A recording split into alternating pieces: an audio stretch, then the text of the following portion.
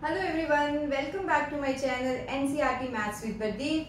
Today we are going to solve question number 9th of exercise 2.2. Let's see, the ages of Rahul and Harun are in the ratio 5 is to 7. So, ratio of the ages are given. 4 years later means after 4 years from present age, the sum of their ages will be 56 years. So what are their present ages?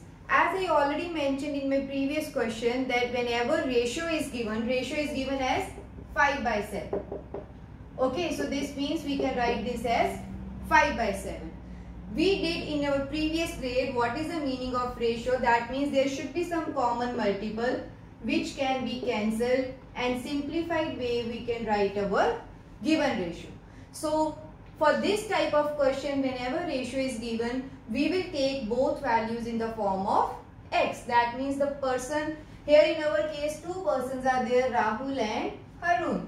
So, Rahul age will be taken as 5x and Harun's will be taken as 7x. So, we will take their present ages as 5x and 7x because when we divide these ages, we will get ratio as 5 by 7.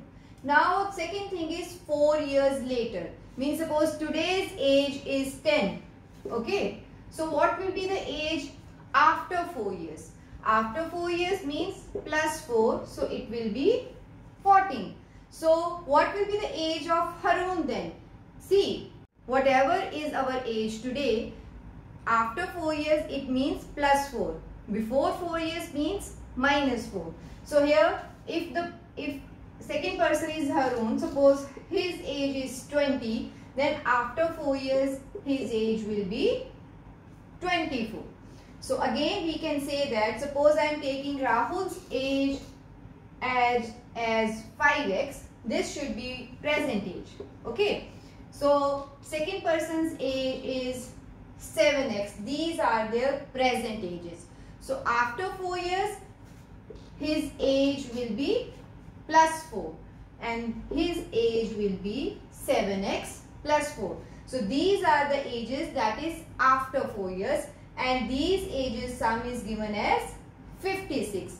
Is it clear? So now let's see how to write this. We will say let Rahul age. See ratio is given as 5 is to 7. So first number will go with first person and second number will go with second person. So please keep this in your mind. First number with first thing and second number with second thing. So let Rahul's present age be how much? First number is 5. So it should be 5x. Don't forget the units. 5x years. Therefore, Har Harun's age, present age will be how much? This is 7. So therefore it will be 7x years. Clear? So now what is required after 4 years? So we will write after 4 years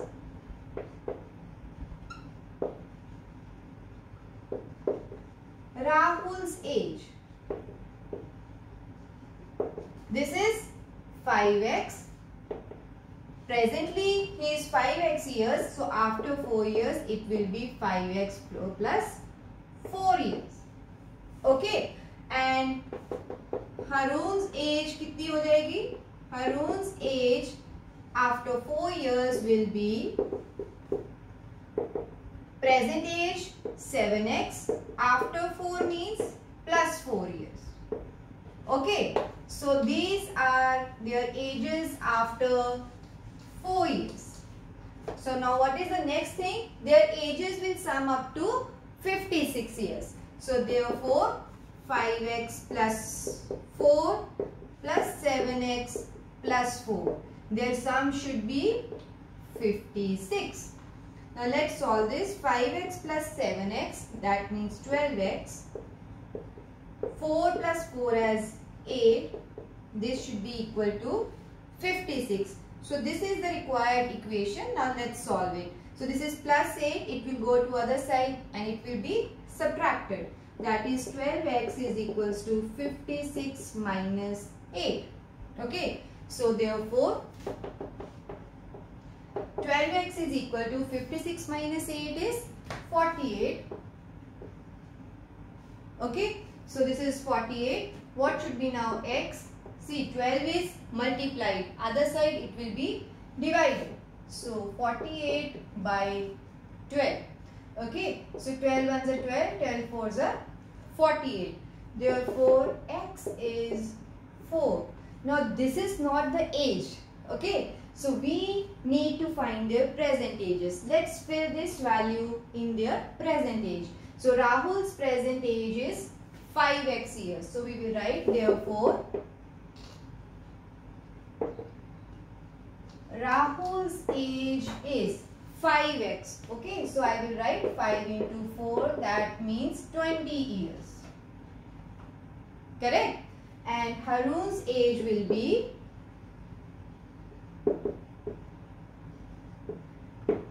7x. Okay, this is 7x. So 7 into 4, 28 years.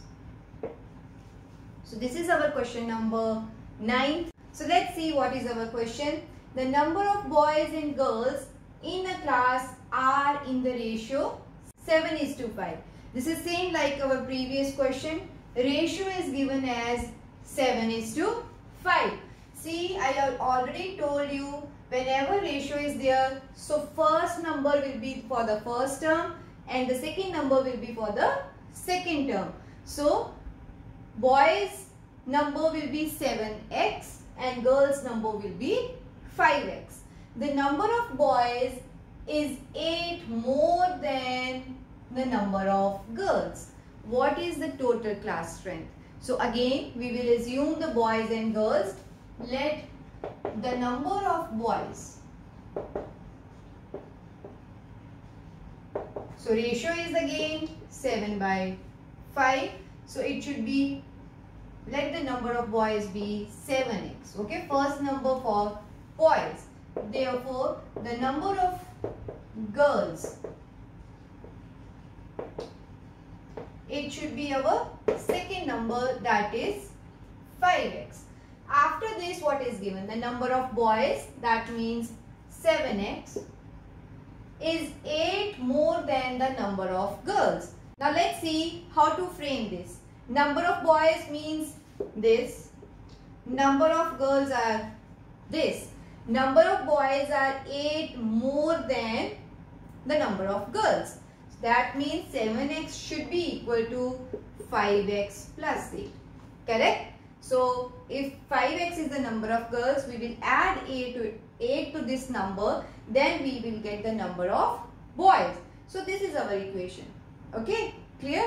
So I can write here therefore 7x is equal to 5x plus 8. So number of girls plus 8. Total will be 7x. Now let's solve this. See I have variable on this side and on this side also. So I want these to be in only one side. So I will shift now over 5x to the left hand side. 5x is having positive sign. So when it comes to this side, it will be minus 5x. So as I told you earlier also, whatever is in the left hand side and right hand side, that we should write first. The numbers that we are transposing from one side to other, it should be in the last of that. So 7x I will write as it is and this plus 5x will be changed to minus 5x and this is equal to 8. So now what is 7x minus 2x?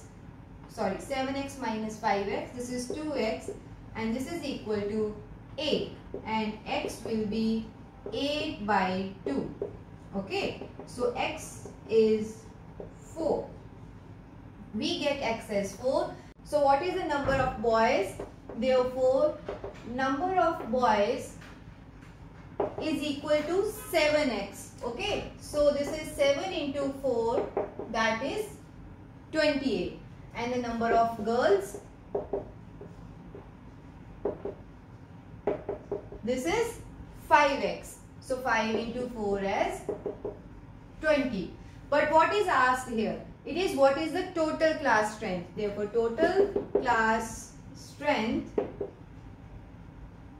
is equal to number of boys plus number of girls that is 28 plus 20 is equal to 48 okay this is our question number 10 see you in my next video with question number 11 thank you